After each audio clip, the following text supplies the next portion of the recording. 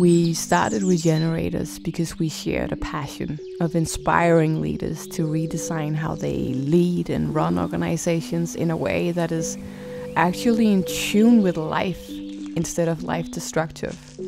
And to teach us about life, nature really is our greatest teacher.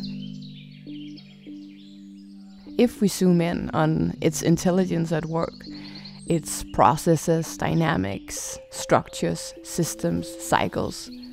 Nature constantly evolve, regenerate, collaborate, seemingly effortlessly. So what can our business models, our innovation of materials, the way we lead and collaborate, learn from nature? And how do we build the thriving, resilient, vibrant organizations where people thrive as well, that are geared for the future? That's the kind of questions we take leaders out in nature to explore. We need a different type of leadership. A new norm of leadership is being asked for, is being demanded because of the situations that we now face.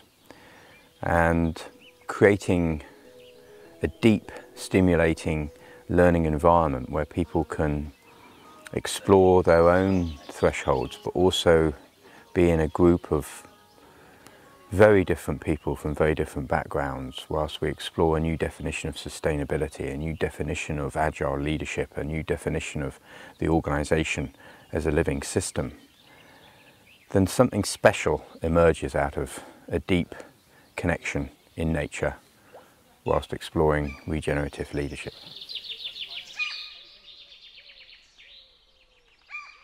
I think uh, from a practical point of view, one of the things that I experienced and learned uh, about myself that I should do more about is listening. It's been uh, it's been good for me, and then of course I don't have my mobile phone and I don't have access to the surroundings outside Sweden and the, this wood. That means a lot too, because it's really healthy. It's very very healthy to be uh, unplugged and just present. I think that's actually how I will see this trip up in present. The content, the ideas, the experiences, these moments have have, have, have really kind of uh, filtered down so deeply um, that I feel very excited about these sort of immediate promises and ideas that I have around what I want to take back and what I want to explore and what I want to try. Um, but what I'm also especially excited about is that I believe there are ways in which my experience from the last three days will come to the surface that I didn't expect. Um, and ways that the ideas, the, the new thinkings that I've explored will make themselves heard that I perhaps haven't planned for or anticipated. And to be honest, that's just as special. We are, all of us, the leaders of the change that we want to see. I've been holding on to banks and waiting for someone else to change the course of the river or to make it easier for me or, or to, you know.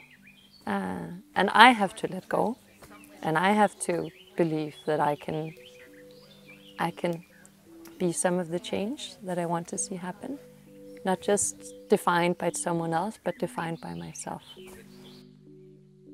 what we're now seeing is good, hard and fast evidence that from a shareholder perspective, as well as from um, quality of service and longevity of the organisation, that actually embracing living systems approaches enables our organisations not able to just survive, but actually thrive in these volatile times ahead.